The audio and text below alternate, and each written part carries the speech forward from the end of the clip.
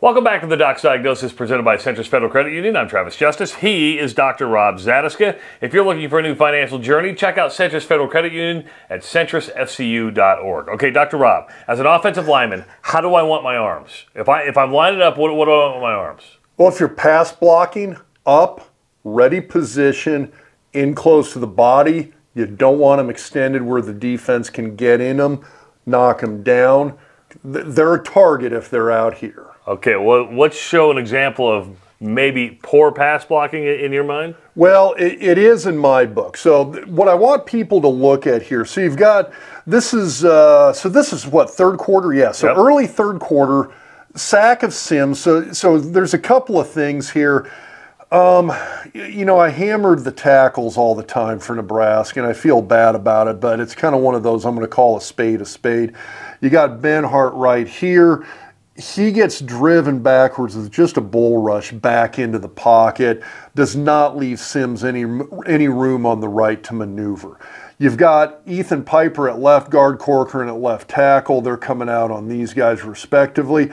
If you look at their arms, they're out here in position for the defense to basically use those arms as a target. And what I want people to focus on, we're going to go ahead and hit play here in just a second but when Travis hits play, watch Ethan Piper's arms right there. The defender knocks the hands down and is able to get around Piper right away. And you see the same thing right here on this on this end zone shot.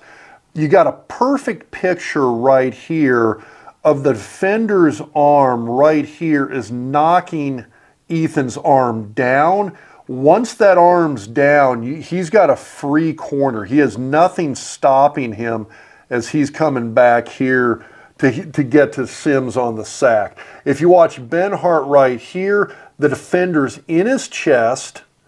And once that defender gets his hands on an offensive lineman's chest, it, it's game over. He's going to get driven back into the pocket right there on it. And as you watch that, that pocket collapses from both sides. Sims has nowhere to go and doesn't have a chance to even step up. Giving up leverage, right? it is. And that's the thing is that if that hand comes down, you've basically, as an offensive lineman, that's your barrier between yourself and the defensive lineman.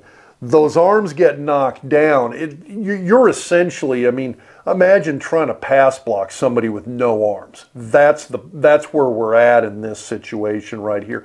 It's a technique thing that needs to get remedied and it needs to get remedied quick. And that's coming from a guy who's played the position of offensive tackle. For Dr. Rob Zatechka, I'm Travis Justice. We'll talk to you next week on the Doc's Diagnosis presented by Centris Federal Credit Union to embark on a new financial journey? Centris Federal Credit Union is here to help. Centris is your trusted financial partner, focused on what truly matters, giving back to our communities and ensuring their members' experience is top notch.